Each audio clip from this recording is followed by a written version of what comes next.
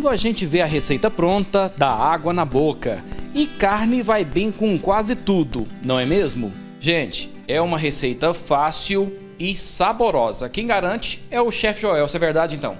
Verdade. Essa receita nossa, ela é super mega fácil. E detalhe, hein? Essa receita eu guardo ela debaixo de sete chaves. E vocês Olha são exclusivos para a gente ensinar essa receita hoje. Faz o seguinte, prepara papel e caneta e vamos aos ingredientes. Anota aí. A gente precisa de uma peça de cupim. Tem que ser um mais gordo. O ideal é cortar ao meio. Duas cebolas pequenas picadas, seis dentes de alho picados, 400 gramas de mussarela, uma colher de sopa de sal grosso e uma colher de sopa de tempero completo. Você pega uma peça de cupim, você vai cortar ela ao meio e a gente vai colocar ela para marinar com os temperos. Os temperos que a gente está utilizando, nesse caso aqui é a cebola, né? A quantidade que a gente colocou aqui são duas cebolas. A gente vai colocar também junto aqui o alho, que são seis dentes de alho misturado. E a gente colocou aqui uma quantidade, isso aqui depende de você, mas a gente colocou aqui uma média de uma colher cheia de sal grosso. Então colocar uma colher de sal grosso e também uma colher de tempero completo. Esse tempero é a sua escolha, tá bom?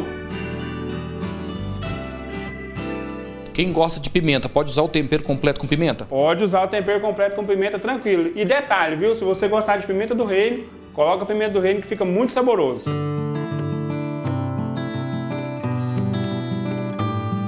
Aqui a gente vai passar por uma vasilha maior, a gente mexer ele, né? Isso aqui ele vai ficar marinando uma meia hora, tá? A gente muda ele aqui, deixa ele aqui marinando e com todos os temperos dele aqui dentro.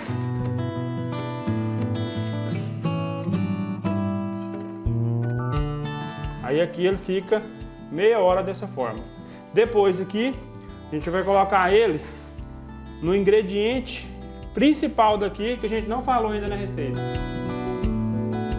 Ô Joel, você falou o ingrediente a mais aí, mas a gente não chamou ele no- nos ingredientes, não? Agora que a gente vai entrar com ele, ó, isso aqui é o nosso carro-chefe. Isso aqui é aquele saquinho tradicional que você compra em qualquer supermercado para colocar frango. Então esse aqui a gente vai colocar depois de marinar ali meia hora, você vai colocar nesse saquinho, você vai lacrar ele não 100%, deixando um pouquinho aberto e aí ele vai cozinhar. Aí a gente vai levar ele pro forno. Vou te mostrar agora como que faz.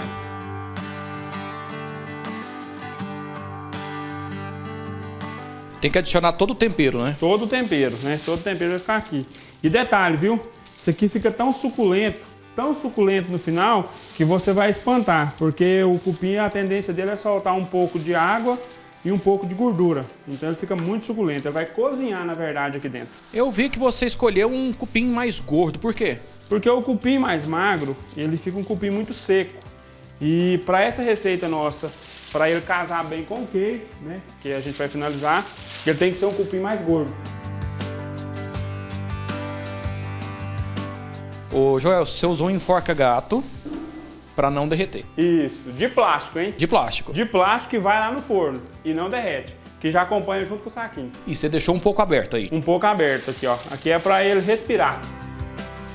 Vai ficar marinando por quanto tempo assim agora? Aqui já tá meia hora, então agora a gente vai levar pro forno 4 horas de fogo baixo.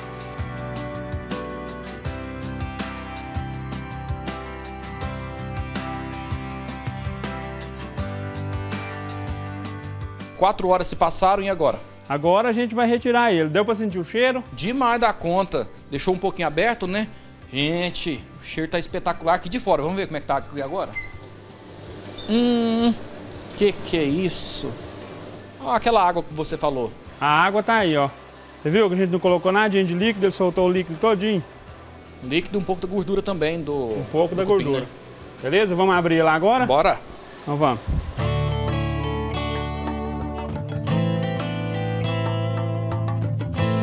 Olha aqui pra você ver, ó. Dá uma olhada. Será que tá desmanchando? Ó. Olha aí. Olha aqui pra você ver. Vou te mostrar aqui pra gente tirar a prova, ó. Aqui. Gente, isso é gostoso demais aqui. Olha aí. O cheiro tá espetacular. Muito gostoso. Macio. Vamos montar ele agora? Vamos lá.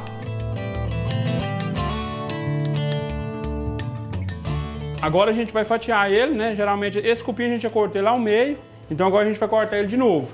Então a gente vai abrir ele para montar o prato, tá? Ver o tanto que tá macio. Corta com facilidade, hein? Ó, não, aqui, olha aqui. Olha aqui, dá uma olhadinha pra você ver. Olha ele por dentro, o jeito que fica. Olha aí.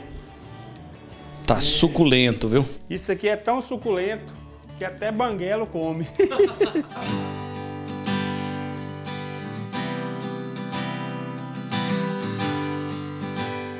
Vou confessar uma coisa, viu? Eu gosto muito de queijo e eu tava preocupado já que o queijo não tava aparecendo na receita. Pois é, agora é a hora da gente acrescentar o queijo na receita. Eu vou mostrar para vocês aqui montando ele, né? A gente já cortou a peça. Então, gente, queijo é à vontade, viu? Se você quiser colocar, eu coloquei aqui na receita 400 gramas. Se você quiser colocar uma quantidade maior de queijo, pode colocar, não tem problema, tá?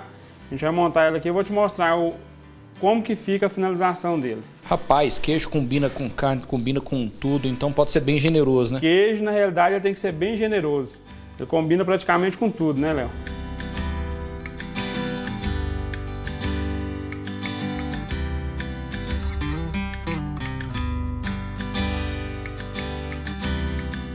O tempero dele está concentrado aqui. O que, que a gente vai fazer? A gente vai jogar um pouquinho aqui, ó, para ele ficar mais molhadinho. O que tava macio agora ficou macio e molhado, beleza? Ó, pra você ver aqui, ó, tanto fica bonito. E coloque muitas fatias de mussarela para cobrir. Joel, você tá voltando com a receita pro forno, hein? Agora é que a gente vai finalizar ela. Pensa esse queijo aqui derretido, como que vai ficar, ó. Vamos lá. Aqui é só para derreter, tá? É coisa rápida. Quanto tempo mais ou menos? Em torno mais ou menos de 5 minutos no máximo. A receita tá pronta, Joel? Prontinho, tá aqui. Agora vem a finalização do prato, que a gente vai fazer com esse maçarico aqui. Vamos lá. Vamos lá?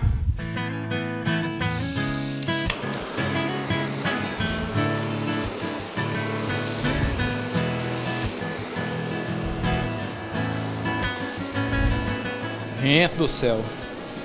A gente tá ficando espetacular.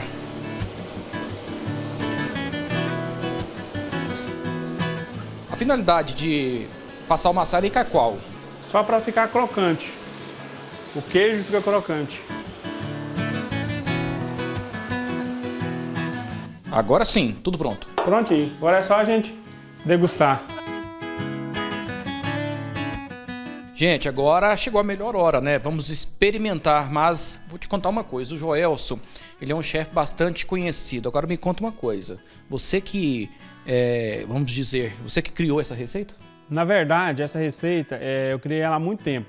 Isso é uma edição limitada. A gente coloca ela algumas vezes só, né, para ser servido. E agora, né, como a gente abriu exclusividade para vocês, a gente está ensinando essa receita. E junto com essa receita, a gente está servindo também a gente vai colocar aqui para acompanhar um arroz frito, né? Que vai casar muito bem com essa receita. Conserva de cenourinha, um nosso tomate, uma farofa de banana, que ela é agridoce, casa muito bem aqui, principalmente com queijo, você vai perceber no final. E também o feijão tropeiro. Vamos lá, né? Eu tô ansioso para a gente cortar aqui, fatiar essa receita, esse cupim com queijo, para descobrir como que tá é, esse, como que tá esse sabor, como que tá essa receita. Vamos lá?